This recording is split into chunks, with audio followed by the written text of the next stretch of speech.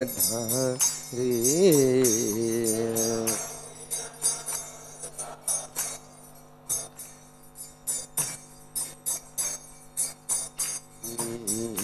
जय यशोदानन्दना जय ब्रज जनरञ्जन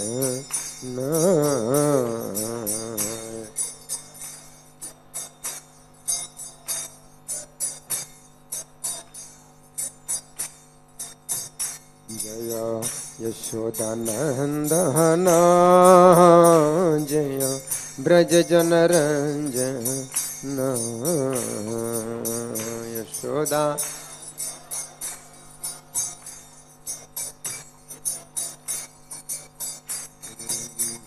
जया यमुना तीरा बन चारी जय कुंज बिहारी।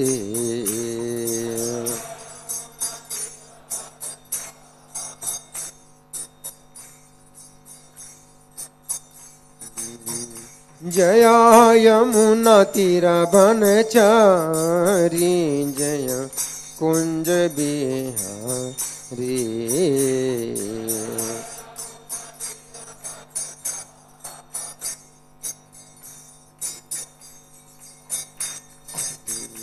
जय राधा माधव जय कुंज बिहारी।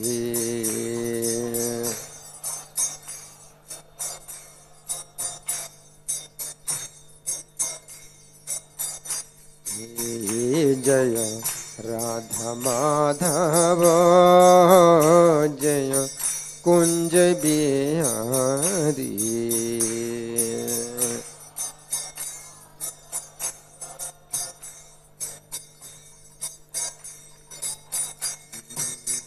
नितय गौर हरे बोल, हरि बोल हरि बोल हरि बोल।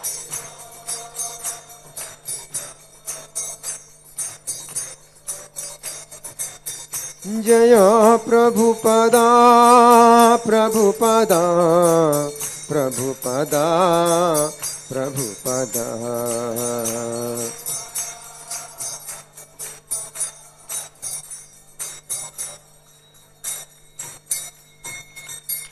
जय ओम विष्णुपाद परमहंस परिव्राजिकाचार्य अष्टोत्तर श्री श्रीमधि डिवाइन ग्रेस। अभय चरणारविंद भक्ति वेदांत स्वामी श्रील प्रभुपाद की जय।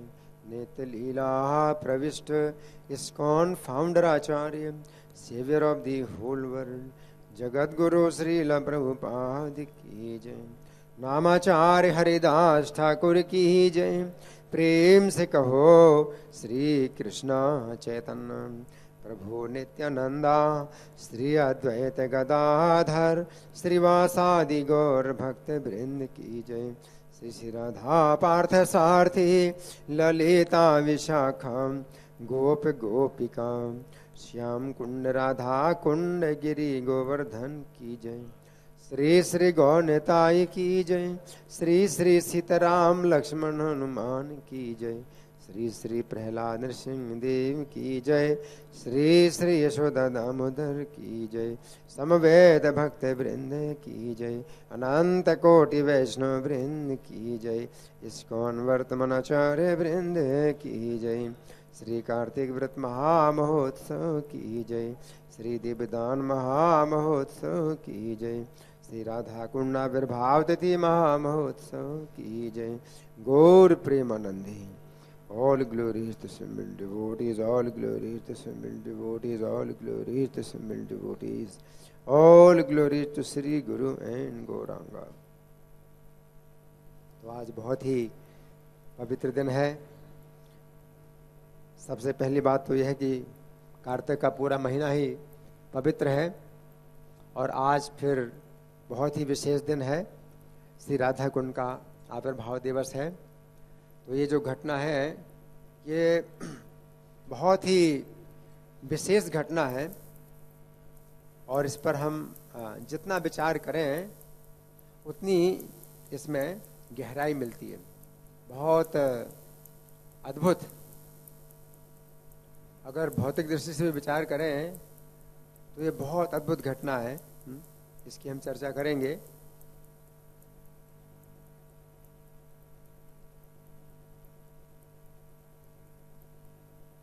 राधा कुंड का जो आविर्भाव हुआ हम्म, उसका कारण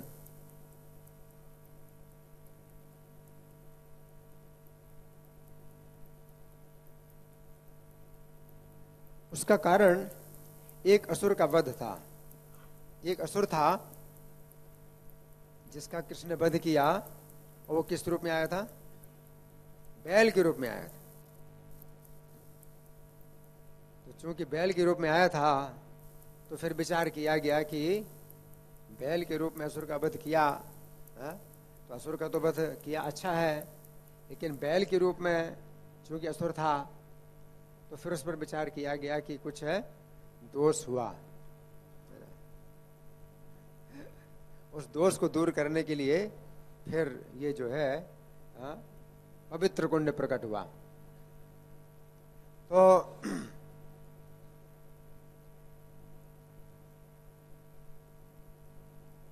आज के दिन हम्म, अरिस्तासुर आया था हाँ, तो हम इसको सुनेंगे इस लीला को सुनेंगे श्रीमद् भागवत के दसम स्कंद के अध्याय 36 में ये जो है लीला आती है। तो सुखदेव गोस्वामी बताते हैं कि अरिस्तासुर गोपों के गाँव में आया बड़े डिल्ले वाले बैल के रूप में प्रकट होकर अपने खुरों से पृथ्वी को छत विक्षत करके उसे कंपाने लगा।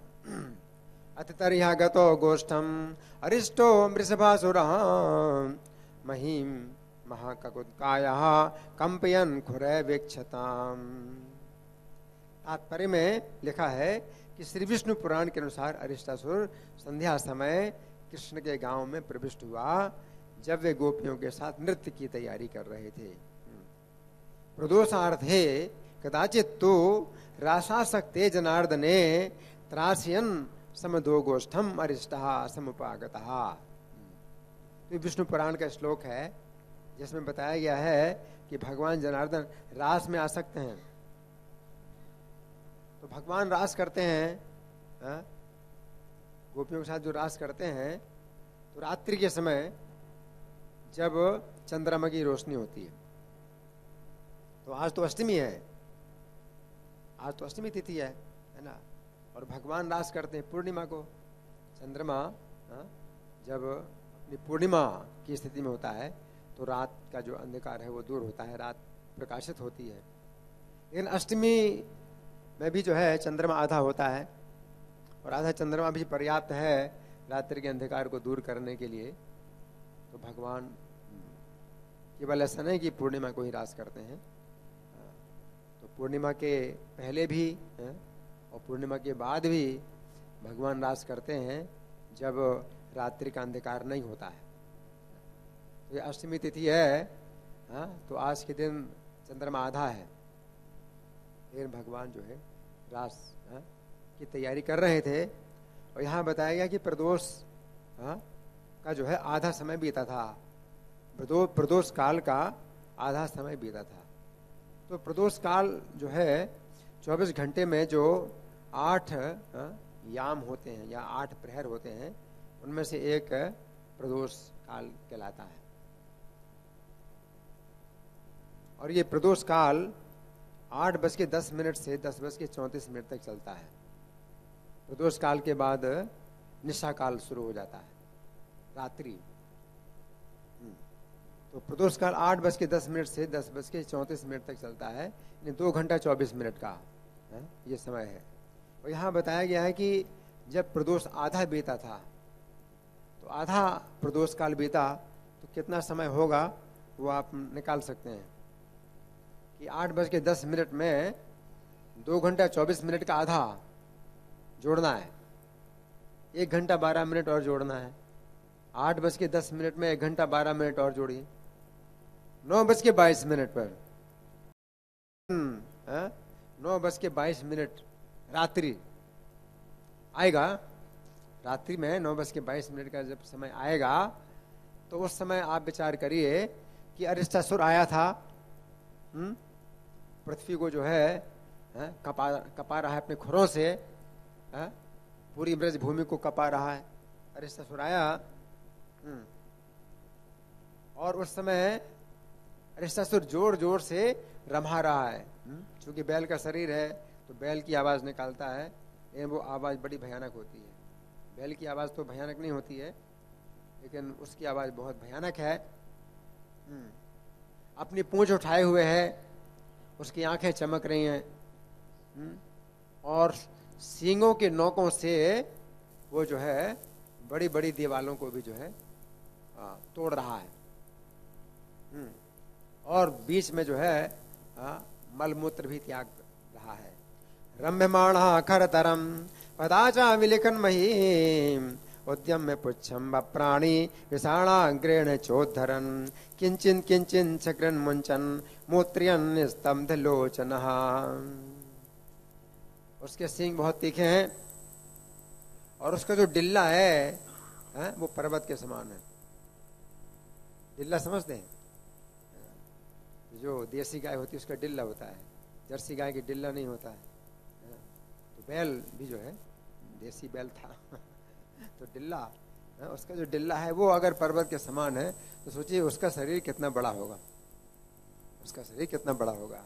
उसके डिल्ले को पर्वत समझ करके बादल आसपास मंडराने लगे। तो बादलों को जो है, पर्वत का जो है सहारा मिलता है कि वो ठहर सकते हैं। कि हवा के कारण बादल ठहर नहीं पाते हैं। इन पर्वत के सहारे वो जो है, बादल ठहरते हैं। तो बादल वहाँ पर ठहर रहे हैं, उसके डिल्ले को पर्वत समझ करके। और जब गोप और गोपियों ने अवसर को देखा तो भयभीत उठे उसकी गर्जना की गूंज इतनी भयानक थी कि गर्भिणी गौ में और स्त्रियों के गर्भपात हो रहे। गर्भिणी स्त्रियों के, गर्भिणी गौओं के गर्भपात होने लगे। इतना भयानक उसकी जो है आवाज़, सोचिए कितनी भयानक आवाज़ होगी। यस्य निर्रादिते रांग निष्ठुरेण कालतो गर्भा स्रवन्ति स्म भये नव निर्विशन्ति घनायस्य ककुद्य तीक्ष्ण श्रृंगम उद्वीक्ष गोप्यो गोपाश तत्र घरेलू पशु भय के मारे चरागाह से भाग गए। हाँ? जिनको भागने का मौका मिला हाँ? अगर रस्सी टूट गई तो किसी प्रकार से भाग गए।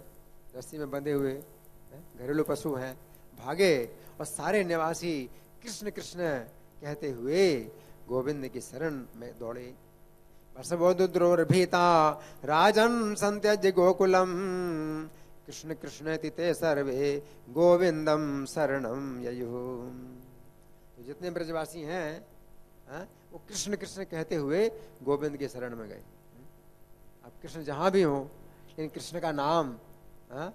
वे जो है ले रहे हैं। हम्म, जहाँ भी भाग रहे हैं लेकिन कृष्ण का नाम ले रहे हैं। तो ये बहुत बड़ी शिक्षा है। बहुत बड़ी शिक्षा है हमारे लिए। हा? उस समय बहुत संकट में है हो सकता है हरे कृष्ण मंत्र पूरा ना बोल पाए सोलह नाम ना बोल पाए तो भी क्या बोलना है? कृष्णा। हम्म, कृष्णा मुँह से निकलना चाहिए। इसे किसी का हाँ, मुँह से निकलता है अरे बापरे हम्म, क्या बोलते हैं आप? अगर अचानक कोई संकट आ जाए क्या मुँह से निकलता है। दैया रे हम्म, मैया रे बाप रे है ना? है? कुछ तो निकलता है। हम्म, वो आपको पता हुआ क्या निकलता है वही संकट आए तो क्या निकलेगा? क्या निकलना चाहिए? कृष्णा कृष्णा ये ये पहचान है। ये परीक्षा है भक्त की है? ये ब्रजवासियों की परीक्षा है। आप अगर ब्रजवासी हैं तो आपके संकट में आपके मुँह से क्या निकलेगा? कृष्ण, है ना? तो ब्रजवासी की परीक्षा ये है है ना?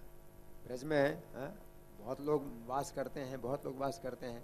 इन परीक्षा क्या है ब्रजवासी की? कि जब संकट आए तो क्या निकले? कृष्णा, है ना? और प्रभुपाद ने ब्रज को जो है पूरे संसार में फैला दिया है। हरि बोल, है ना? तो प्रभुपाद ने ये जो है आदत हमारी जो है हमें प्रदान की है कि कृष्णा बोलना है? बाप रे या दैया मैया ना बोल करके कृष्णा बोलना है। तो जितने ब्रजवासी हैं वो जो है कृष्ण कृष्ण कह करके गोविंद की शरण में जाते हैं। तो ऐसा नहीं कि भक्त डरता नहीं है। भक्त जो है डरता भी है लेकिन हाँ, उसका डरना हाँ, उस प्रकार का नहीं सामान्य लोगों की तरह नहीं है हाँ, वो जो है कृष्ण का नाम लेता है जो कि डर को दूर करने वाला है। इसलिए कहते हैं कि कृष्ण का भक्त नहीं डरता। तो कृष्ण का भक्त निर्भय होता है। लेकिन किस कारण से निर्भय होता है? क्योंकि वो कृष्ण की शरण लेता है। कृष्ण का नाम लेता है। तो जब भगवान ने देखा सारा गोकुल भय के मारे भाग रहा है हाँ, तो उन्होंने आश्वासन दिया क्या? डरो मत। और वृषासुर को ललकारा। भगवान अभी तन्वीक्ष गोकुलम भय विद्रुतम। माँ भेष्टि है वृषासुरम उपाहवयन। तो भगवान जो है हाँ, ब्रजवासियों को सांत्वना दे रहे हैं कि डरो मत। इन एक ही कार्य नहीं है भगवान का कि ब्रजवासियों को सांत्वना दे रहे हैं। दूसरा कार्य भी है भगवान का। और दूसरा कार्य क्या है? उसको ललकार रहे हैं हुँ? हम्म? तो एक तरफ़ भगवान जो है भक्तों को अभय करते हैं और दूसरी तरफ़ भगवान भक्तों को भयभीत करते हैं हम्म? तो उसको जो है ललकारते हैं, भगवान हम्म? वृषाशरम उपहावयत उपहावत है, बुलाया उसको कि इधर आ तू तुझे अपनी ताकत दिखानी है, अपनी शक्ति दिखानी है तो इधर आ, मैं खड़ा हूँ जो भाग रहे हैं उनको तो क्या शक्ति दिखा रहा है मैं सामने खड़ा हूँ, तू मुझे अपनी शक्ति दिखा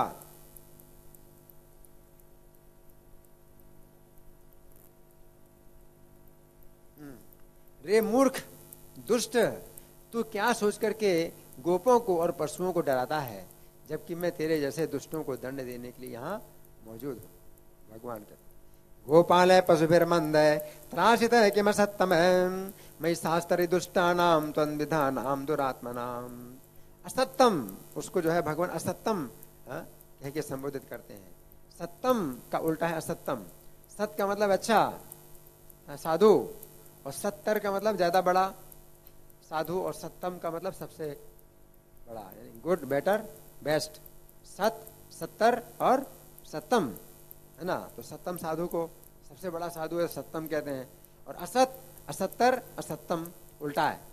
असत माने बुरा बैड हम्म, उसके बाद वर्ष और वर्ष है ना? असत्तम का मतलब है सबसे ज़्यादा दुष्ट। सबसे ज़्यादा खराब। तो असत्यम शब्द से भगवान उसको संबोधित करते हैं। गोपाल पशुभिर मंद त्रासित किम असत्यम मई शास्त्री दुष्टानाम तद्विधानाम दुरात्मनाम भगवान बहुत कठोर शब्द बोलते हैं। हम्म, दुष्ट के लिए कठोर शब्द बोलते हैं। और ये शब्द कह करके भगवान ने अपनी हथेलियों से अपनी बाहें ठोंकी। कैसे? भगवान ने अपनी बाहें ठोंकी है? और ज़ोर की जिससे ज़ोर की ध्वनि जिससे ज़ोर की ध्वनि से उसको जो है बहुत गुस्सा आया। भगवान ने जब बाहें ठोंकी तो इतनी इतनी आवाज़ नहीं हुई। हम्म, बहुत आवाज़ हुई। उसकी आवाज़ को भी मात दिया। हम्म, हम्म, तो बाहें ठोकर के इतनी तेज आवाज़ किया उसको बहुत गुस्सा आया उसको बहुत गुस्सा आया। और भगवान अपनी सर्व जैसी भुजा को एक सखा के कंधे में डाल करके असुर की ओर मुँह खड़ करके खड़े हो गए। कंधे में अगर भुजा डाली है तो मतलब असावधान है, कोई मतलब जैसे कि कोई महत्व ही नहीं दे रहे हैं। हम्म? भगवान कमर कस के खड़े हों। कमर कस के खड़े होते तो कोई मतलब बड़ी कुश्ती है है? तो बड़ा युद्ध है तो कमर कस के खड़े। भगवान कमर कस के नहीं खड़े हुए हैं, बल्कि ऐसे आराम से जैसे उसको तिनका भी नहीं समझ रहे हैं क्या है तू है क्या मेरे साथ तो भगवान उसको जो है, है तो सखाई कंधे में बाहें ऐसे डाल दी हाँ बिल्कुल असावधानी पूर्वक खड़े हैं जैसे कुछ समझते नहीं है उसको और गुस्सा आया कि देखो मेरा कुछ महत्व नहीं समझा हुँ? हम्म? मुझे जो है मतलब ऐसा समझा है, है? तिनका समझ रहा है तो उसको और गुस्सा आया तो भगवान उसके ऊपर मुँह करके खड़े हो गए इत्यास्फोट्या चतुरिष्टम तल शब्दो निकोपयन सख्युरन से भुजा भोगम प्रसार्य अवस्थितो हरि इस तरह उकसाने पर अरिष्ट ने अपने खुर से धरती को रे दी। हम्म? अब वो तैयारी कर रहा है आक्रमण करने की। तो कैसे आक्रमण कर रहा है? कर रहा है। तो पहले खोरों से धरती को कुरेदता है। होता है। धरती को कुरेदा और फिर क्रोध के साथ कृष्ण के ऊपर झपटा। बहुत तेज़ी से। बहुत तेज़ी से झपटा।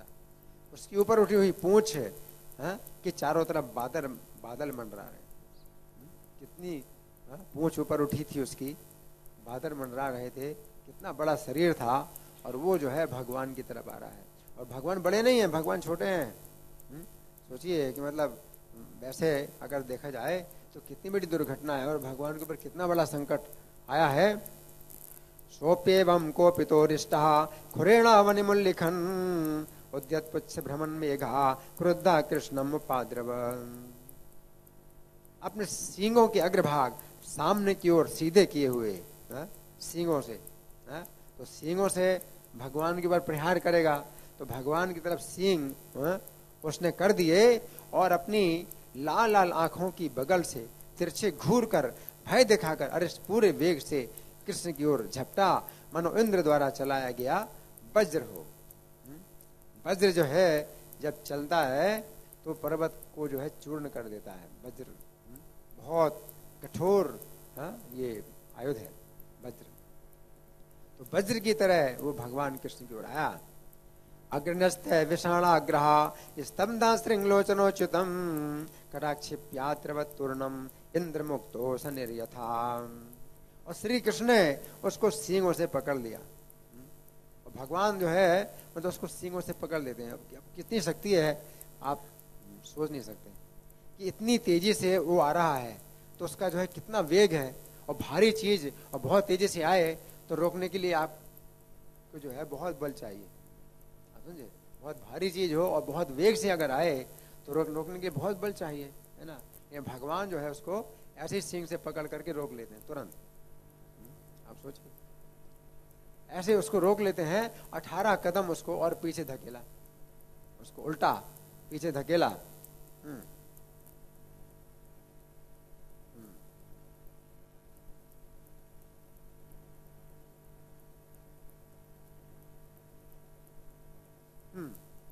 उसको सींगों से पकड़ लिया, अठारह पग पीछे धकेला, जिस तरह एक हाथी अपने प्रतिद्वंदी हाथी से लड़ते समय करता है। गृहीत्वा व अष्टादश पदा सह प्रत्योपवा है भगवान गजा प्रति गजम यथा। तो भगवान ने पहले उसको रोका।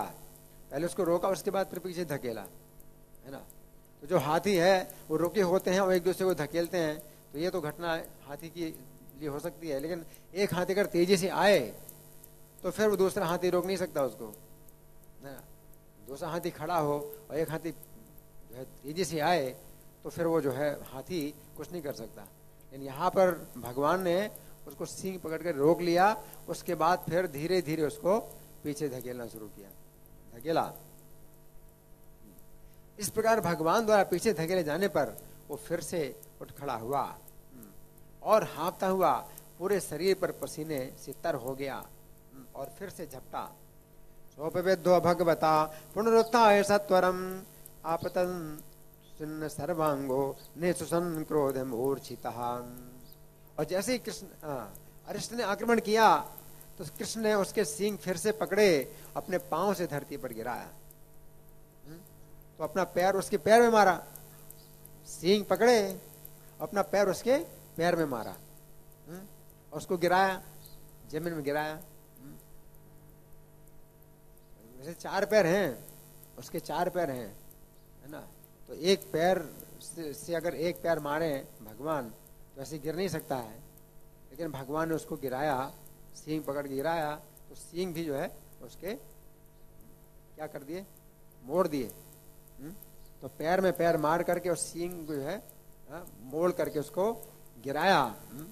सोचिए कितना बड़ा असुर और भगवान कितने छोटे हैं हम्म? और भगवान ने उसको गिराया और तब ऐसा लताड़ा जैसे गीला वस्त्र हो कोई बहुत मोटा कपड़ा जो होता है ना तो निचोड़ नहीं सकते। उसको ज़मीन में डाल करके पैर से ही निचोड़ा जाता है। ना? आजकल तो सुखाने के लिए कई उपाय हैं, मशीन है, कपड़े को सुखाने के लिए। पहले जो है, कपड़े को बहुत मोटा कपड़ा, बहुत भारी कपड़ा है तो जो है, उसको धो करके, उसको ज़मीन में डाल करके और पैर से ही उसको जो है, दबा दबा करके निचोड़ा जाता है। तो भगवान ने उसको जो है, गीला कपड़ा मान करके, पैर से दबा दबा करके उसको जो है निचोड़ा और फिर सींग उखाड़ करके तब तक पिटाई की जब तक कि दंड के समान धराशाई नहीं हो गया। दंड के समान। हम्म? तो ये अच्छा है कि हम दंड के समान धराशायी हो जाए पहले से ही तो भगवान को कुछ नहीं करना पड़ेगा। हाँ तो भगवान अभी दर्शन खोला है है ना? ये संकेत है, कि हम जो है भगवान के सामने पहले से ही दंड के समान धराशायी हो जाए तो ज़्यादा अच्छा है और नहीं तो फिर अरिष्टासुर की तरह होना पड़ेगा है ना? तो दंड के समान हम्म, धराशायी हो गया। तमापतम तम सनगृह श्रृंगयो पदा समाक्रम निपात भूतले निष्पीड यामा सिथाद्रमंबरम कृत्वा विषाणे न जगान सोपतन। खून की उल्टी करते हुए और बुरी तरह से मलमूत्र त्यागते हुए हम्म, अपने पाँव पटकते अपनी आँखें पलटते हुए बड़ी पीड़ा के साथ मृत्यु के धाम में चला गया। देवताओं ने कृष्ण पर हरिबोल देवताओं ने कृष्ण पर फूल बरसाकर उसका उन, उनका सम्मान किया। फूलों की जो वर्षा हुई है ये मनुष्यों के द्वारा नहीं हुई है। हम्म, देवताओं के द्वारा हुई है। तो हम अगर फूलों की वर्षा करते हैं तो नीचे से ऊपर फेंकते हैं जिससे कि फिर ऊपर से नीचे गिरेंगे है ना? यहाँ तो ऊपर से ही गिर रहे हैं फूल। देवताओं के द्वारा फूलों की वर्षा हो रही है। अश्रिंग वमन मूत्र सकृन समसृजन क्षिपंच पादानवस्थिगे क्षण जगा में कृच्छ्रम नृत्य रथ क्षयम पुष्प किरण तो हरि मीडिरे सुराम। इस तरह ककुदमी का वध करने के बाद ककुदमी का मतलब जिसका ककुद है ककुद यानी डिल्ला है तो उसका कुदमी का वध करने के बाद है भगवान जो है आ, देवताओं के द्वारा प्रशंसित हो करके गोष्ठ में प्रवेश करते हैं। एवं गकुन्मिनम हत्वा स्तूयमाना दुजाति भी विवेश गोष्ठम सबलो गोपी नाम नयनोत्सव। दुजाति भी का मतलब है ब्राह्मणों के द्वारा स्तुति भगवान की हो रही है यहाँ पर ब्राह्मण कौन से हैं? जो आकाश में ऋषि मुनि हैं। जो देवता लोग हैं अपने विमानों को आकाश में रोक लेते हैं और भगवान की लीला देखते हैं। इन जो ऋषि मुनि होते हैं, वो बिना विमान के ही आकाश में ऊपर आ जाते हैं और बिना आधार के वो खड़े हो जाते हैं आकाश में ऋषि मुनि। हाँ, तो भगवान की लीला को जो है देखने के लिए जो ऋषि मुनि होते हैं अपनी तपस्या के बल पर आकाश में पहुँच जाते हैं और आकाश में वैसे ही निराधार खड़े होते हैं। और वो जो है वेद मंत्रों के द्वारा भगवान की जो है स्तुतियाँ कर रहे हैं। स्तूयमाना दुजाति भी विवेश गोष्ठम सबलो। तो बल सबलो का मतलब बल देव जी के सहित गोष्ठ में प्रवेश करते हैं। गोपी नाम नयनोत्सव और गोपियों के नयन नयन का उत्सव हो रहा है। नेत्रों का उत्सव है। गोपियों के नेत्रों का उत्सव हो रहा है।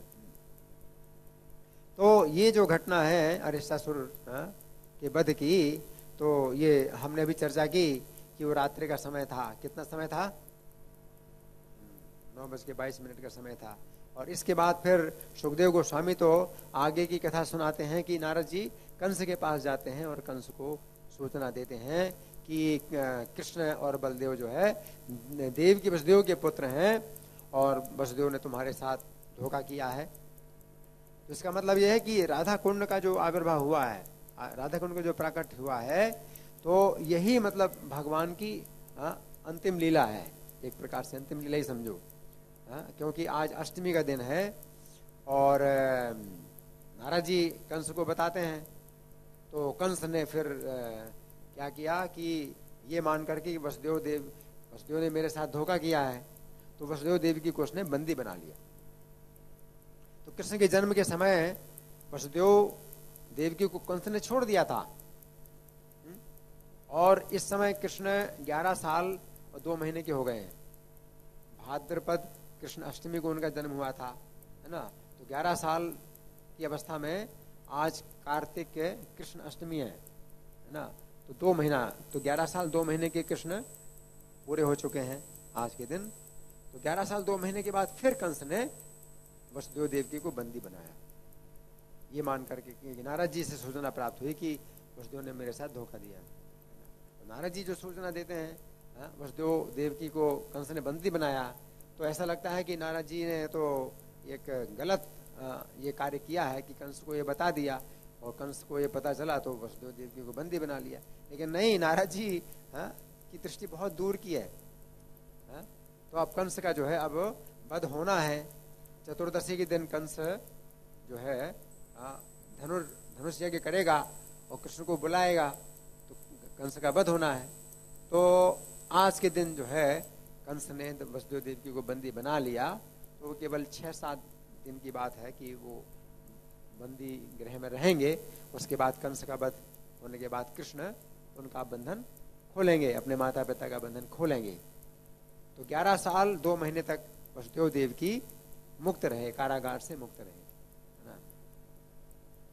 तो ये जो 20 श्लोक हैं, विश्वनाथ चकबड़ी ठाकुर ने विभिन्न शास्त्रों से निकाले हैं। राधा कुंड की उत्पत्ति के संबंध में है ये श्लोक तो इनको हम सुनेंगे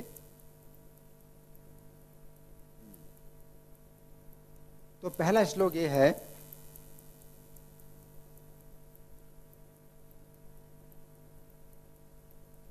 पहला श्लोक ये है कि गोपियाँ बोली है?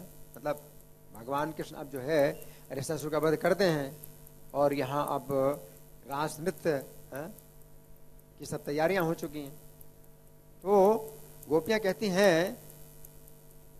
हम्म, कि हे कृष्ण हे कृष्ण वृषभार्दन अब कृष्ण को नाम बोलते हैं वृषभार्दन वृषभार्दन का मतलब वृषभ के हत्यारे बैल के हत्यारे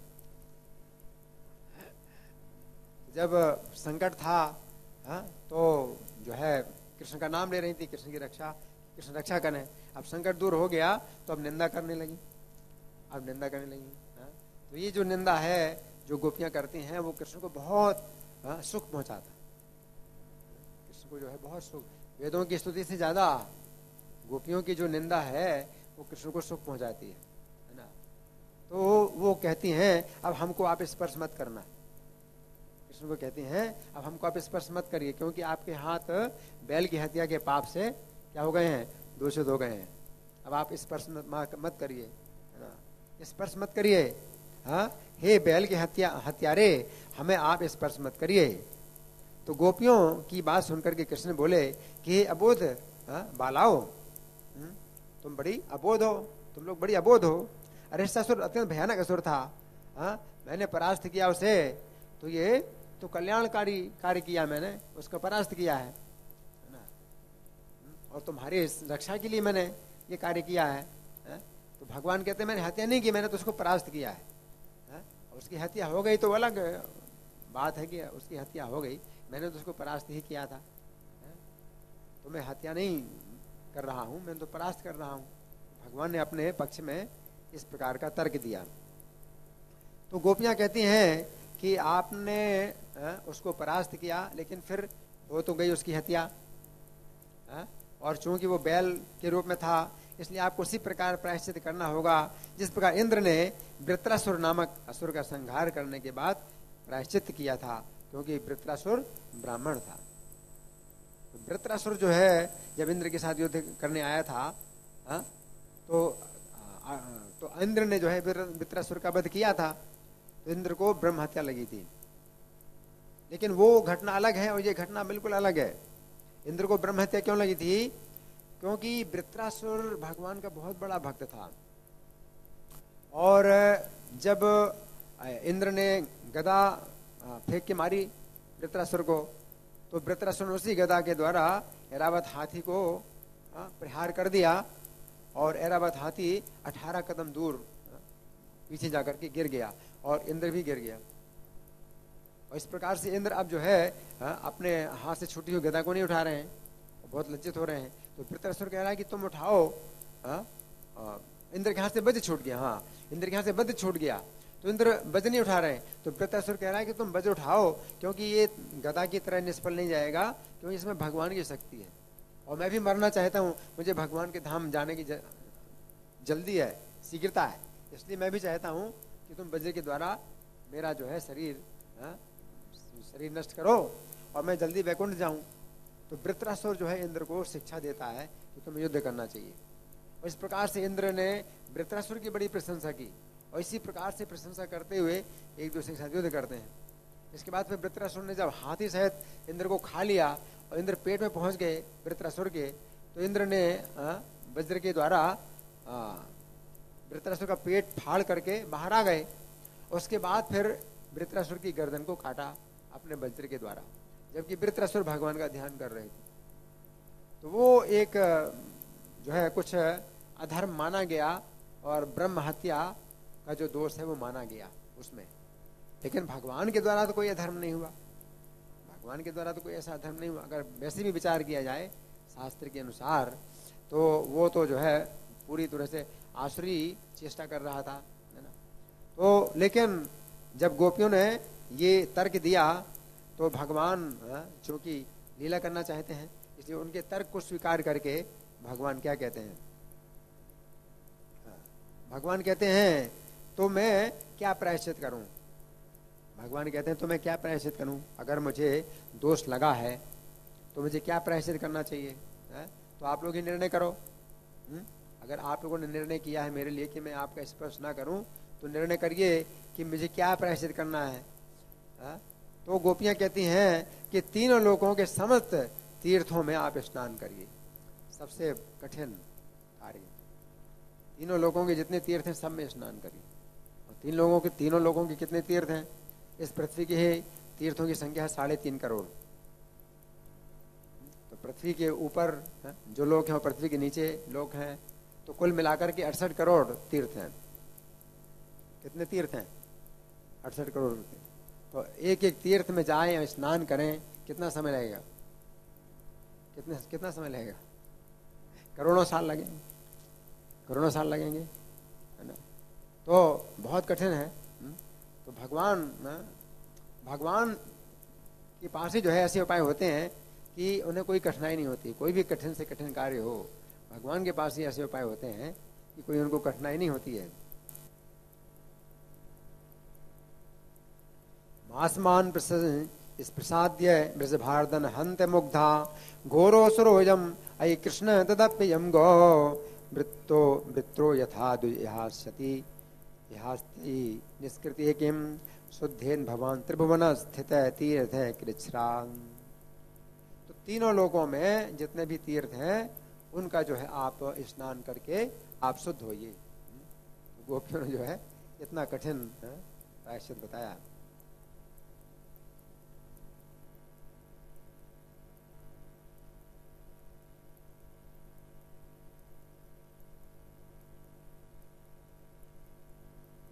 हाँ। तो कृष्ण बोले कृष्ण बोले कि मुझे इतना, आप लोगों ने इतना लंबा परिस्थिति बताया है। तो मैं मतलब क्या, पूरे ब्रह्मांड में भ्रमण करता रहूँगा? भगवान कहते हैं, पूरे ब्रह्मांड में भटकने की मुझे क्या आवश्यकता है? अति शीघ्र समस्त तीर्थों को मैं ही आवाहन करके जल में स्नान कर लूँगा। भगवान के लिए जितना कठिन कार्य होता है, उतना ही सरल होता है भगवान के लिए। तो भगवान जो है, सभी तीर्थों, तीनों लोगों के तीर्थों को भगवान के तो मैं यहीं बुला करके स्नान कर लेता हूँ। एक बार ही स्नान कर लू। सब तीर्थों का जल इकट्ठा करके और यहीं पर एक बार में स्नान करके क्या हो जाएगा? मेरा प्रायश्चित हो जाएगा। हम्म। और ऐसा कह करके भगवान मुकुंद ने पाओ की एड़ी द्वारा भूमि पर तीव्र प्रहार किया। एड़ी द्वारा प्रहार किया। तो गड्ढा खोदने की भी ज़रूरत नहीं है। एड़ी के द्वारा प्रहार किया तो गड्ढा तैयार हो गया। किम पर्यटामि भवनान्यधुनैव सर्वा, आनीय तीर्थवितति करवाणि तासु। स्नानं विलोक्यत ताविदिदं मुकुन्दः प्रोच्य तत्र कृतवान् बत पार्ष्णि घातम्।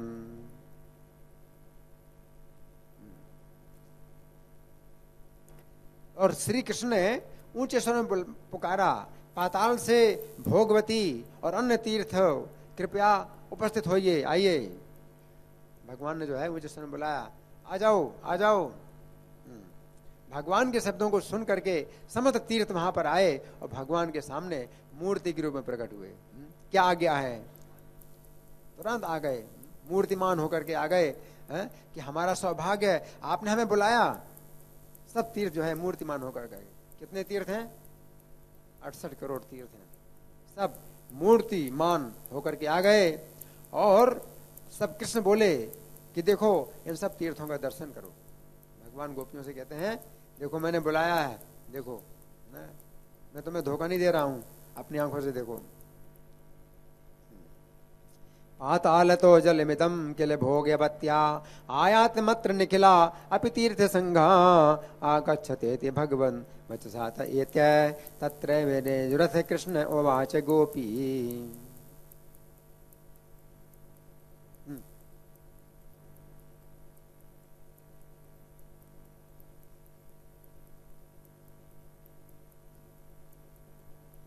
तो गोपियों ने जो है प्रतिक्रिया की कि हम आप पर विश्वास नहीं करते। हम आप पर विश्वास नहीं करते। कौन आए हैं? हमें क्या पता कौन आए। गोपियाँ कहती हैं कि आपने इतने लोगों को बुलाया है हम तो नहीं विश्वास करेंगे कि कौन है जब तक ये खुद अपने मुझसे ना बोलें कि हम कौन है। हम्म?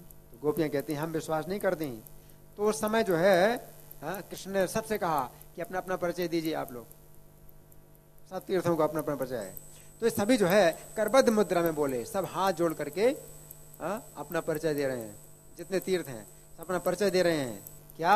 मैं लवण सिंधु हूँ। लवण सिंधु तो यही हम्म, लवण सिंधु मैं क्षीर सागर हूँ दूसरा बोलता है। मैं सोन नद हूँ मैं ताम्रपर्णी नदी हूँ। ये नदियाँ स्त्री रूप में है। मैं पुष्कर तीर्थ हूँ हम्म, ये पुरुष रूप में है। मैं सरस्वती नदी हूँ हम्म, तो स्त्री पुरुष ये जो है कुछ पुरुष तीर्थ है कुछ स्त्रियाँ तीर्थ हैं है ना? मैं गोदावरी हूँ मैं सूर्य की पुत्री यमुना हूँ मैं सरयू हाँ नदी हूँ मैं प्रयाग का संगम हूँ तीर्थराज मैं प्रयाग हूँ मैं रेवा नदी हूँ हाँ हमारे जल को देखो और विश्वास करो और मैं जल भी डाल रहे हैं। हम्म, सब तीर्थ जो है अपना जल भी डाल रहे हैं अपना नाम ले लेकर के बता रहे हैं।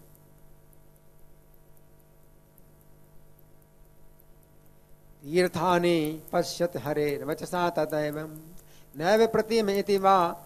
यदि अथ तीर्थवर्या प्रोचो कृतांजलि पुटा लवणाधिरश्मि क्षीराब्धिरश्मि शृणुतामर दीर्घ कास्मी।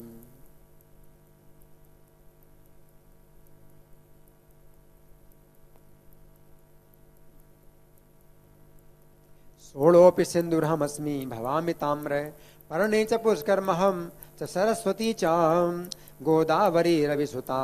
सरयु प्रयागो पश्यत जलम कुरुत प्रतीतम।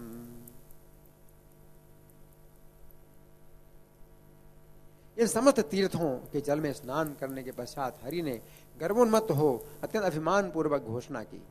अब भगवान को अभिमान हुआ। भगवान ने तीर्थों में स्नान किया। भगवान में अभिमान नहीं है। भगवान जब अभिमान करते हैं तो अपने भक्तों के सामने वो अभिमान करते हैं कि भक्त लोग जो है मुझसे आगे बढ़ें और मेरा अपमान दूर करें। ये भगवान की इच्छा होती है। तो भगवान गर्भ में उन्मत्त हो गए। ये दिखा रहे हैं कि मैं देखो गर्भ में उन्मत्त हो गया हूँ हाँ? और राधा रानी जो है कुछ अपना विशेष पराक्रम करें और मेरे गर्व को दूर करें। तो ये भगवान की जो है ऐसी भावना होती है। तो भगवान जो है हाँ, गर्भ में उन्मत्त होकर के बोले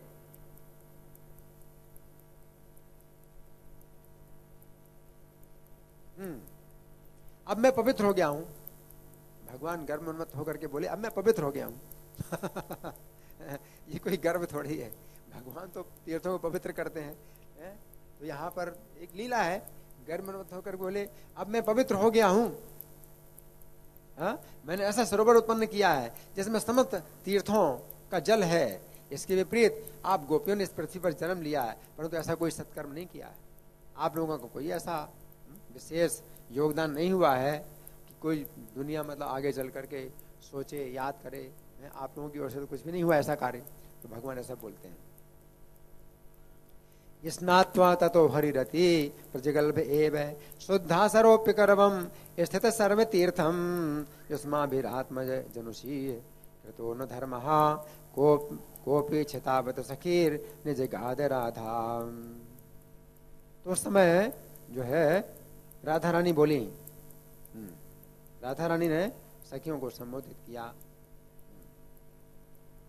राधा रानी संबोधित सखियों को संबोधित करके बोली कि अब मैं एक सौंदर्य पूर्ण मनमोहक सरोवर का निर्माण करूँगी। आप सब लोग मेरी सहायता कीजिए। राधा रानी को सहायता की आवश्यकता है। राधा रानी कहती हैं, सखियों से, आप लोग मेरी सहायता करिए कृष्ण को किसी की सहायता की आवश्यकता नहीं है। राधा रानी कहती हैं, मैं एक विशेष सरोवर का निर्माण करूँगी। आप लोग सहायता करिए। कार्यम मयाप्यति मनोहर कुंड में एकम तस्माद तद्भुमिति तन्वचने न ताभी।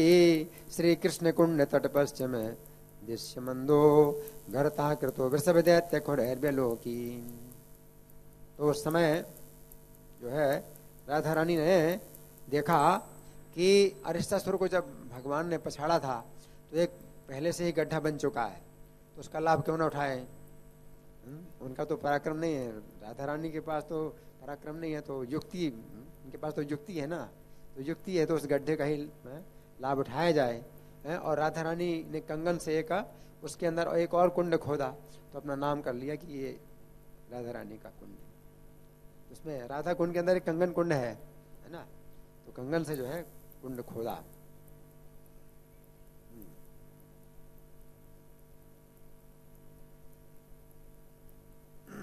तो वो जो कुंड तो खोद दिया, अब पानी तो नहीं है उसमें, पानी तो नहीं है। तो अब क्या सोचती हैं वो?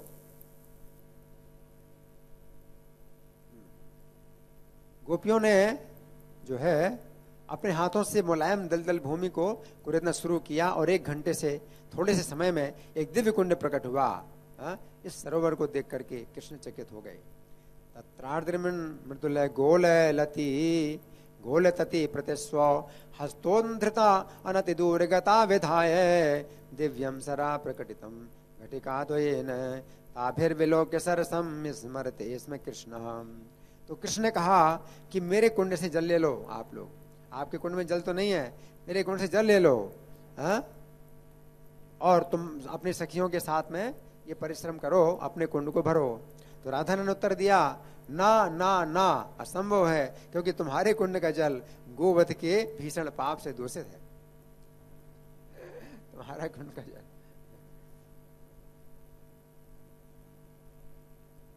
रोचे च तीर्थ सलिल परिपूरे तन। मत्कुंडता सरस जाक्षी सहालिभिस्त्वम राधा तदा ननेति जगादे यस्मात्। तत्कुंड नीरम उर्गो वध पातकाक्तम। राधा रानी क्या कहती हैं? राधा रानी कहती हैं कि मैं हम्म, मैं मानसी गंगा का जल जो है लाखों घड़ों से भर करके लाऊँगी इस प्रकार अपने कुंड को भरूँगी। मानसी गंगा है मानसिक गंगा तो करोड़ों सखियाँ हैं राधा रानी की है ना? तो सखियाँ जो है क्या करें उनको चलने की ज़रूरत नहीं पड़ेगी। वो एक सखी जो है कुंड भरेगी, दूसरी को पकड़ाएगी, दूसरी तीसरी को पकड़ाएगी इस प्रकार से राधा कुंड तक जो है वो पानी आएगा हम्म? फिर भी बहुत समय लगेगा फिर भी बहुत समय लगेगा हम्म? तो उस समय जो परिश्रम हो रहा था, राधा रानी का और सखियों का परिश्रम हो रहा था तो परिश्रम को देख करके भगवान तीर्थों को संकेत करते हैं श्री कृष्ण के संकेत पर जितने भी तीर्थ, दिव्य स्वरूप धारण करके प्रकट हुए थे, उन्होंने मिल करके ब्रजभानु पुत्र के सामने शीश झुका करके, हाथ बाँध करके आंसुओं के साथ विलम्ब याचना की। भगवान ने कहा राधा रानी को जो है, अगर प्रसन्न करना है तो रोना पड़ेगा तुम लोगों को। रो, आँसू भाव हम्म? कि भगवान की बात तो नहीं मानती हैं राधा रानी तो तीर्थों से जो है इशारा करते हैं तीर्थों को, कि तुम लोग जो है रो रो करके हाँ याचना करो। क्या? कि हमें अपनी सेवा का अवसर दीजिए। तो राधा रानी के चरणों में सब तीर्थ जो है, आँसू बहाते हुए रो करके प्रार्थना करते हैं कि हमें आप अपनी सेवा का अवसर दीजिए और आपके कुंड में हमें स्थान दीजिए।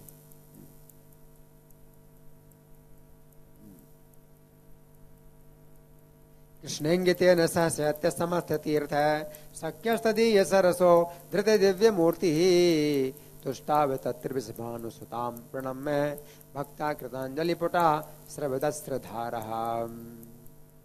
और वे तीर्थ जो है, प्रार्थना करते हैं। तीर्थ प्रार्थना करते हैं कि हे अधीश्वरी समत शास्त्रों के विद्वान भी आपकी महिमा का बखान करने में असमर्थ हैं। ब्रह्मा जी और शिव जी और लक्ष्मी जी भी आपकी महिमा का बखान नहीं कर सकती हैं। भगवान श्री कृष्ण स्वयं ही एकमात्र ऐसे हैं जो आपकी महिमा को जान सकते हैं और आपके थकान से उत्पन्न पसीने को पहुँच करके अपने को धन्य मानते भगवान कृष्ण अपने को धन्य मानते हैं। आपके परिश्रम से जो है, जो पसीना निकलता है, उसको अगर पहुँच लेते हैं भगवान तो इस सेवा को करके कृष्ण अपने को धन्य मानते हैं। तो उन तीर्थों का ये इशारा था कि आप का जो परिश्रम हो रहा है, उससे कृष्ण को बहुत कष्ट हो रहा है। ना? तो आप परिश्रम ना करिए, हमें आदेश दीजिए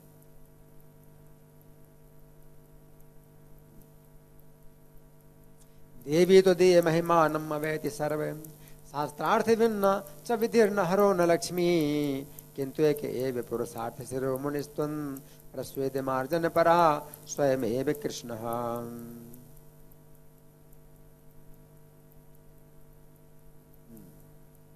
श्री हरि आपके कोमल चरणों को लेपित करने, उन्हें दिव्य नूपुरों द्वारा विभूषित करने में निरंतर निमग्न रहते हैं। आज आपकी कृपा प्राप्त करने मात्र से वे बहुत अधिक आनंदित हुए हैं। अपने को परम सौभाग्यशाली समझ करके प्रफुल्लित हो रहे हैं। उनके आदेश के अनुसार हम आपके चरणों में आए हैं। उनकी एड़ी के प्रहार से निर्मित इस ताल में हमने अपनी शरण प्राप्त की है। यदि आप हमसे प्रसन्न हैं तो अपनी कृपा प्रदान करें। और समत तीर्थों की संपूर्ण सभा द्वारा इस प्रकार स्तुति बंदन सुन करके प्रसन्न हुई राधा बोली अच्छा अपनी मनो अभिलाषा मुझे बताइए, आपकी क्या अभिलाषा है? राधा रानी बोली यश्चारुया व करसेन भवत्पदाब्जम। आरज्य नूपुर महो, निदधाति नित्यम। प्राप्य तो दीयन नाब्ज तट प्रसादम। सम्मन्यते परम धन्यतमं प्रहिष्यन् तस्याज्ञया विसहसा वयमा जगाम तत्पार्श्वघाट कृतकुण्डवरे वसामः। त्वं चेत् प्रसीदसि करोसि कृपा कटाक्षं तर्हि वितरसि विटबि फलितो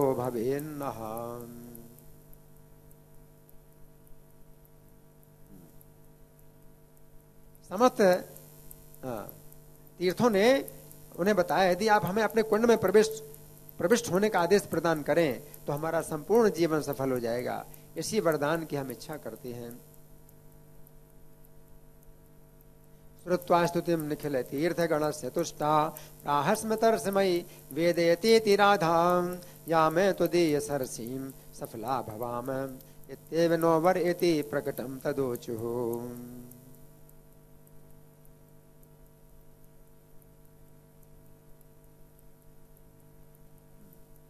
इस भानुनंदिनी अपनी प्रीतम के मुख कमल को देख करके मुस्कुराने लगी। उन्होंने मूर्तिमान तीर्थों को इस प्रकार कहा, आप लोग आ जाइए। उनके समस्त सखियाँ भी उनके निर्णय से सहमत थीं। सभी चर अचर प्राणियों सहित समस्त जन हर्ष के सिंधु में निमग्न हो गए। आगछते ब्रजभानुसुतास्मितास्याम प्रोवाच कांत वदनाम धृताक्ष कोणाम सख्योऽपि तत्र कृत सम्मतया सुखाब्धौ मग्ना विरेजुरखिला स्थिर जंगमाश्च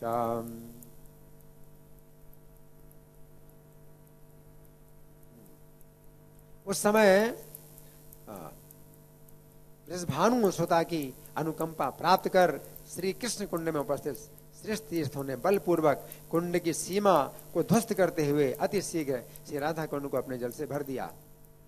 तो श्याम कुंड का जो है तो वो जो सीमा थी, उसको तोड़ करके, हा? तीर्थों ने जो है, राधा कुंड के जल भर दिया। तो दोनों कुंड एक हो गए। हम्म? दोनों कुंड एक हो गए।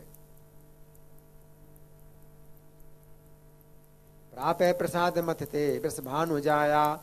श्री कृष्ण कुंड गद तीर्थ वरा प्रसय भित्वे भित्तिम अति वेगत एव राधा कुंडम यधो सुसलिल परिपूर्णमेव।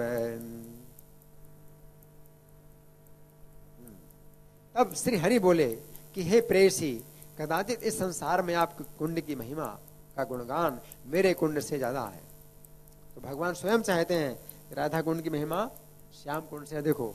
तो भगवान स्वयं कहते हैं, मेरे कुंड से अधिक है, मैं यहाँ जल के लिए करने स्नान हेतु सदैव आऊँगा। जिस प्रकार आप मुझे अत्यंत प्रिय हैं, उसी प्रकार आपका सरोवर भी मुझे सर्वदा प्रिय है। भगवान कहते हैं, हरि बोल। प्रोचे हरे प्रीतमे तव कुंड में तन मत कुंड तो भी महिमा धिक मस्तु लोके, अत्र मे सलिल के लिए रहे नित्यम स्नानम यथा तुमसि तन वदिमम सरोमे तो भगवान कहते हैं राधा रानी से कि तुम जितनी मुझे प्रिय हो, उतना ही तुम्हारा कुंड मुझे प्रिय है और मैं हमेशा तुम्हारे कुंड में स्नान करने के लिए आऊँगा। तब राधा रानी बोली कि मैं सखियों सहित आपके कुंड में स्नान हेतु आऊँगी। राधा रानी कहती है ये सरोवर जहाँ आपने अरिष्टासुर का वध किया है, यदि भविष्य में कोई सरोवर के प्रति भक्ति भाव रखते हुए स्नान करेगा, निवास करेगा तो निश्चित रूप से मेरा कृपा पात्र बन जाएगा।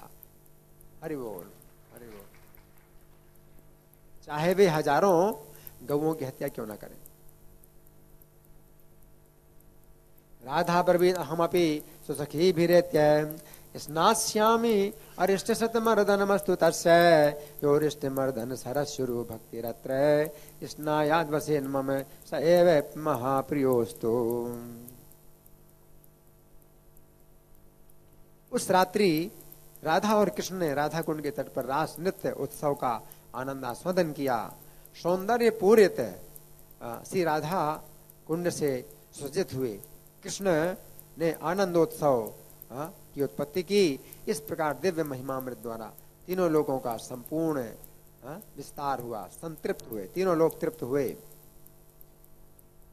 रासोत्सव प्रकृते में चतत्र रात्रो कृष्णामुदा कृत महा रस हर्ष वर्ष श्रीराधिका प्रवर विद्युत अलंकृत श्री त्रैलोक्य मध्य व्यतीकृत दिव्य कीर्ति। तो ये बीस श्लोक जो विश्वनाथ चक्रवर्ती ठाकुर ने दिए हैं श्रीमद् भागवत के अंदर तो श्रीमद् भागवत में नहीं है, लेकिन दूसरे पुराणों से उन्होंने निकाले हैं राधा कुंड का जो प्राकट है, उसमें जो है वो विशेष रूप से उद्धृत किया।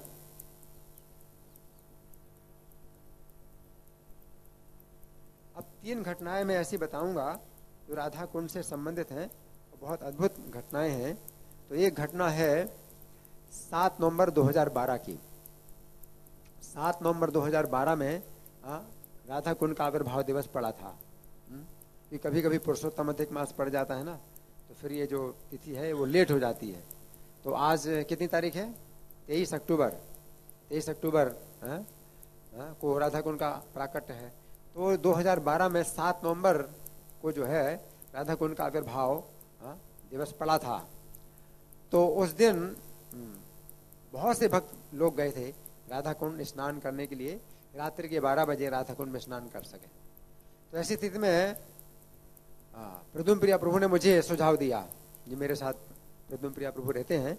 इन्होंने सुझाव दिया कि आज राधा कुंड के आविर्भाव के अवसर पर कुछ विशेष आयोजन किया जाए।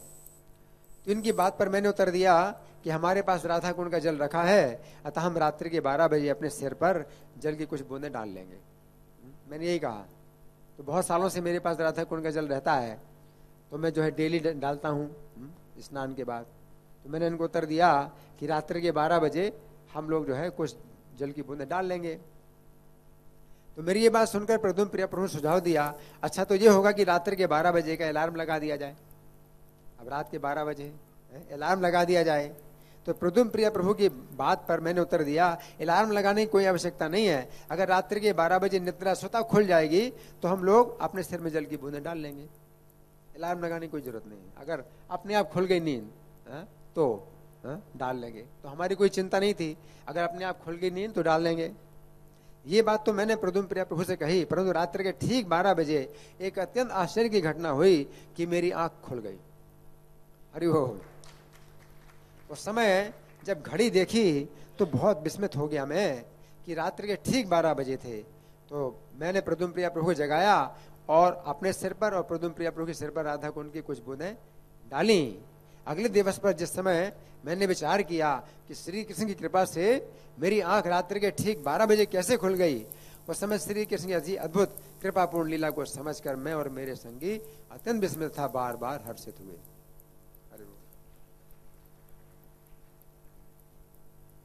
दो घटनाएँ और हैं हम्म, जिनको आप सुनिए बड़े ध्यान से। ये घटना 16 जून 2014 की है।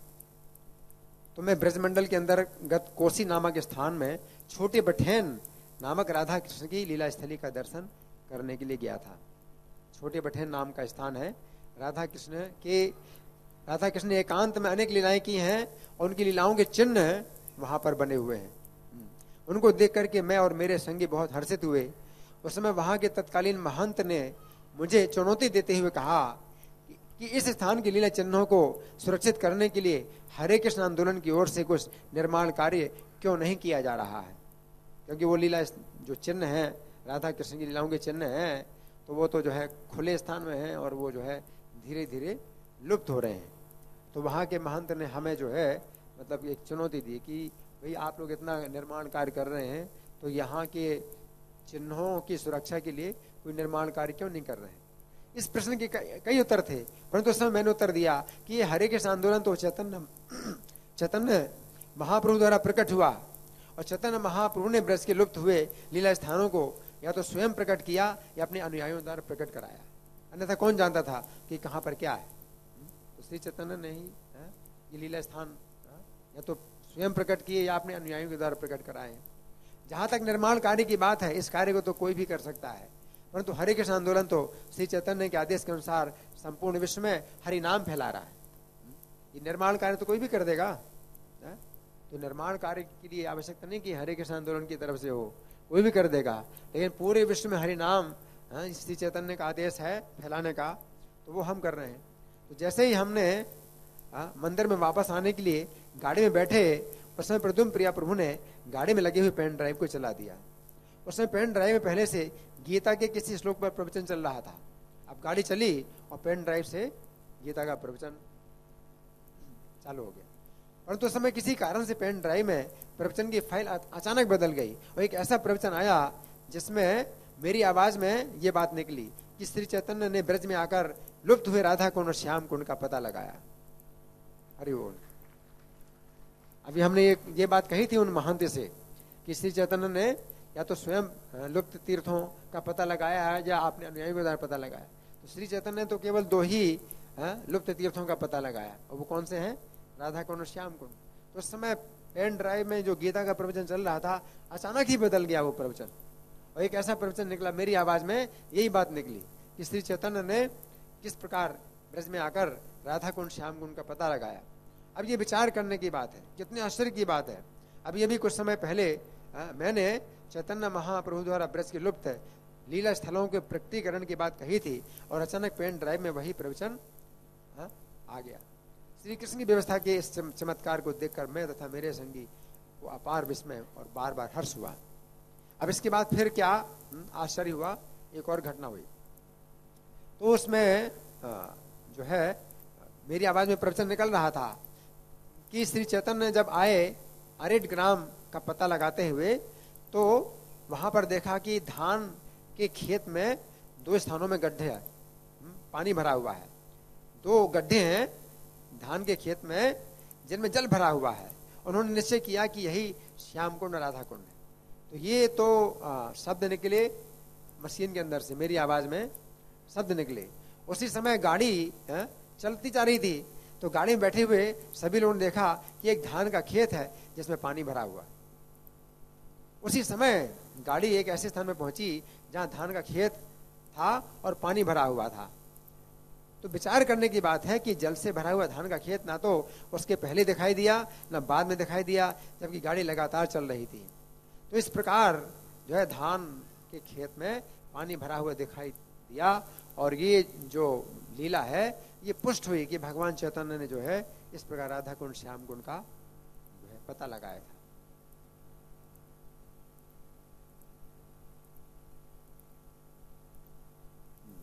अब ये घटना है 16 अक्टूबर 2014 की। 2014 में 16 अक्टूबर को राधा कुंड का प्राकट्य हम्म, आया था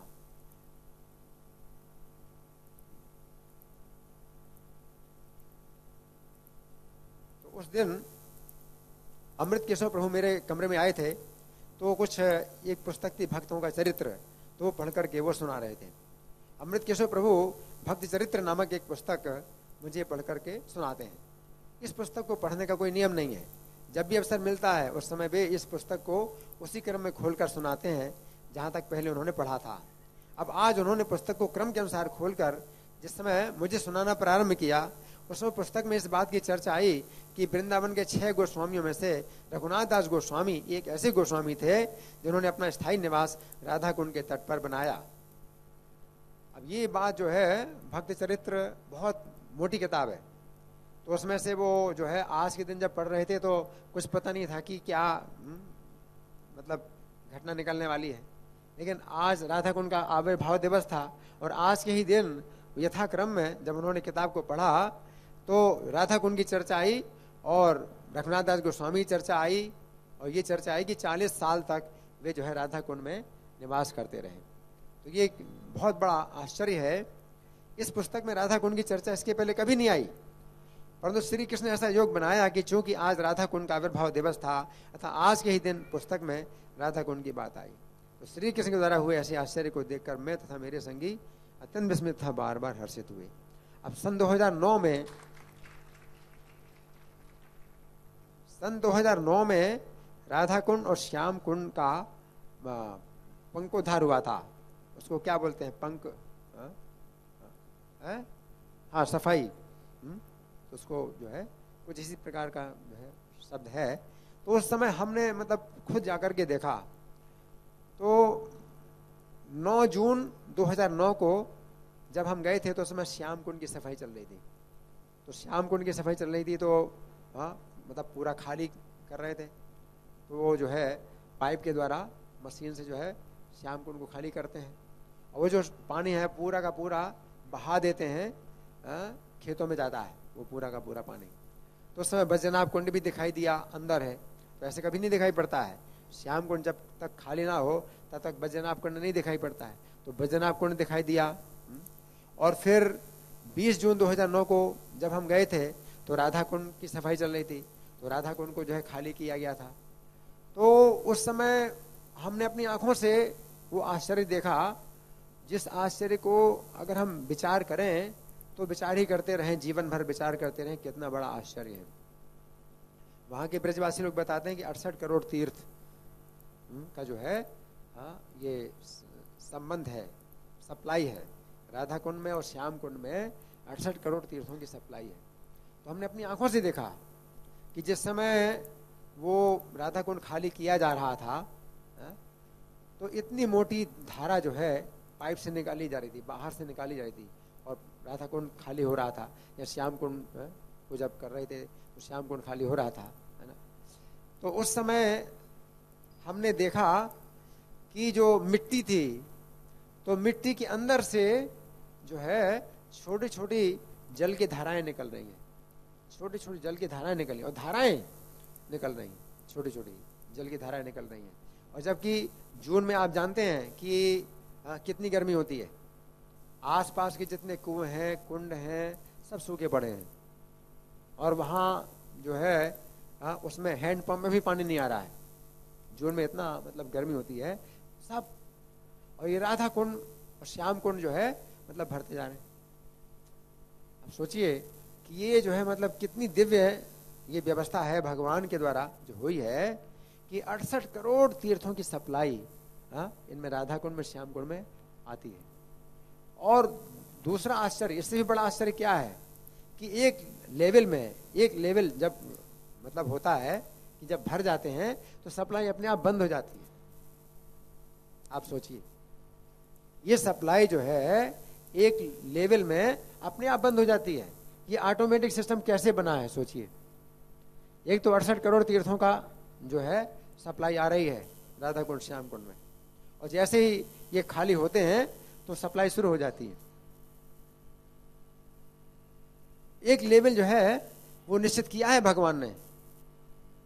भगवान ने जब आदेश दिया था तीर्थों को तो ऐसे आदेश नहीं दिया कि भाई, भरते जाओ भरते जाओ और पूरी दुनिया को डुबा दें। वो तो पूरी दुनिया डूब जाएगी।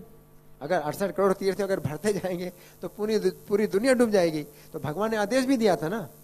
क्या आदेश दिया था? कि इसके ऊपर हाँ, इस इतने लेवल के बाद क्या करना है? सप्लाई बंद कर देना है। भगवान का आदेश। और भगवान का आदेश अभी भी चल रहा है वो। इतनी गर्मी में राधा कुंड श्याम कुंड कभी सूखते नहीं? और इतना जो है पानी जो है निकाला जा रहा है, इतना पानी निकाला जा रहा है। और जब अपने आप फिर मतलब छोड़ दिया मतलब सुखा पूरा खाली करके छोड़ दिया अपने आप तो एक दिन में एक सीढ़ी पानी अपने आप भर जाता है। क्योंकि वो सप्लाई है वो सप्लाई अपने आप है। तो एक दिन में एक सीढ़ी पानी भर जाता है। इस प्रकार से राधा कुंड श्याम कुंड में नया पानी आ गया। हम्म? ऐसा नहीं है कि वो पानी सुरक्षित रखा गया होता और फिर दोबारा उसमें पानी डालते। वो पानी जो है अपने आप आता है। और जब राधा कुंड की सफ़ाई हो रही थी तो हमने देखा कंगन कुंड एक बना हुआ है, कंगन कुंड। तो इतना मतलब पानी की सप्लाई तो उस समय चली रही है, जो तीर्थों की सप्लाई चली रही है। तो राधा कुंड तो मतलब खाली हो गया था, लेकिन कंगन कुंड खाली नहीं हो पाया। क्योंकि जितना पानी निकाला जा रहा है, उतना ही पानी जो है अड़सठ करोड़ तीर्थों से आ रहा है। तो कंगन कुंड जो है, वो लगातार निकाल रहे हैं पानी, लेकिन वो कंगन कुंड लगातार भरता जा रहा है तो कंगन कुंड तो खाली हुआ ही नहीं तो ये आश्चर्य हमने अपनी आँखों से देखा तो राधा कुंड स्थान अगर हम अपने भौतिक गणना से बेकर देखें, विचार करें तो बहुत बड़ा आश्चर्य, बहुत बड़ा आश्चर्य कि पूरी दुनिया में जो है पानी सूख जाए, है? चाहे समुद्र सूख जाए? इन राधा कुंड श्याम कुंड नहीं सूखेंगे। ये नहीं सूखेंगे। कभी नहीं सूखेंगे। और दूसरी बात ये भी है कि उतने लेवल से ऊपर पानी जाएगा भी नहीं। एक लेवल है उसका राधा कुंड का श्याम कुंड का एक लेवल है, उस लेवल से ऊपर पानी भी नहीं जाएगा। इतनी सप्लाई। इतना मतलब आप सोचिए कि कितना मतलब ये सूक्ष्म व्यवस्था है भगवान की। और अचूक व्यवस्था जिसको क्या कहेंगे? अचूक है। मतलब जहाँ की आ, कोई गलती हो नहीं सकती कोई दुर्घटना हो नहीं सकती। अब सोचिए अगर दुर्घटना हो जाए कोई दुर्घटना हो जाए तो पूरी ज़मीन मतलब पूरी पृथ्वी डूब जाएगी। हम्म? लेकिन वो नहीं हो सकती है भगवान का आदेश। भगवान के आदेश में जो है कितना नियंत्रण है इस नियंत्रण को भी देखिए इस पर भी विचार करिए। ये जो है मतलब विशेष बात है राधा कुंड के आविर्भाव की। तो अभी तो बहुत कुछ इस विषय में चर्चा हो सकती है, लेकिन समय नहीं है। फिर भी आप लोगों की ओर से कोई कुछ प्रश्न या चर्चा मैं चाहता हूँ कि हो तो ज़्यादा समय नहीं है, लेकिन फिर भी आप लोगों की ओर से किसी का कोई प्रश्न है, कोई चर्चा है, या मैं प्रश्न करूँ?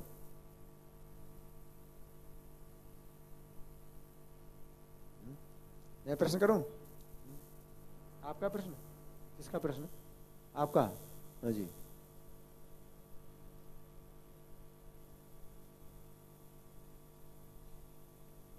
थोड़ा पानी था हाँ बहुत अच्छा प्रश्न है। चैतन्य महाप्रभु जब गए तो थोड़ा पानी था। लेवल लेवल वही है, वो खुदाई कराई। आप समझे? रघुनाथ दास गोस्वामी ने इसको बड़ा किया। तो आप ये मत सोचिए कि वो जो है, थोड़ा पानी था। पानी थोड़ा था तो वो अलग बात है। लेवल वही है। मेरी बात समझ रहे हैं आप? ऊपर, उससे ऊपर नहीं जाएगा। लेकिन अगर आपको और बड़ा करना है, और गहरा करना है तो आप खुदाई कर लो। आप समझ रहे अच्छा प्रश्न है। इससे जो है मतलब तो बहुत बड़ा एक संदेह दूर होता है ना, कि वो थोड़ा पानी भरा हुआ था। तो थोड़ा पानी भरा है तो तो उसमें जो है, जो अड़सठ करोड़ तीर्थों की ओर से कोई कमी नहीं है। आप सुन रहे और देखो, बहुत आश्चर्य की बात यह है कि सीढ़ियाँ जो है, पत्थर की बनी है। तो पत्थर की सीढ़ियों के भी जो है, वो उसमें छेद बना करके धारा निकल रही थी, तीर्थों की। वो धाराएँ जो है छोटे छोटे और बिल्कुल छोटे छोटे छेद मिट्टी मिट्टी बिल्कुल गीली है तो भी उसमें जो है छोटे छोटे छेद से जो है धाराएँ निकल रही हैं। इतना आश्चर्य है। जबकि गीली मिट्टी में तो छेद होता ही होता ही नहीं है। धारा कैसे बनेगी? लेकिन गीली मिट्टी से भी जो है वो छोटे छोटे छोटे छिद्र से धाराएँ निकल रही हैं। और जो पत्थर की जो सीढ़ियाँ हैं तो वहाँ तो बिल्कुल पानी नहीं बिल्कुल सूखा है। तो वहाँ से भी जो है, है वो छोटे छोटे छेद बना करके जहाँ मतलब आ, वो मसाला लगा है। पत्थर के बीच में मसाला होता है ना तो जहाँ जहाँ मसाला लगा है वहाँ से भी छेद बना करके वो धाराएँ निकल रही तीर्थों की एक बहुत बड़ा आश्चर्य है अभी मतलब राधा कुंड की तो कितनी महिमा है, हम लोग तो समझ नहीं सकते हैं। लेकिन अभी भौतिक गणना के अनुसार भी अगर आप सोचें तो सोचिए कितना बड़ा आश्चर्य। बहुत बड़ा आश्चर्य है अच्छा भरे हैं, राधा कुंड श्याम कुंड तो कुछ भी पता नहीं चलता। कुछ भी पता नहीं चलता। ये जो आश्चर्य है, ये राधा कुंड का और श्याम कुंड का आश्रय है। श्री राधा कुंड आविर्भाव तिथि महामहोत्सव की। जगत गुरु शिला प्रभुपाद की। श्री श्री राधा पार सारथी ललिता विशाखा गौरताई श्री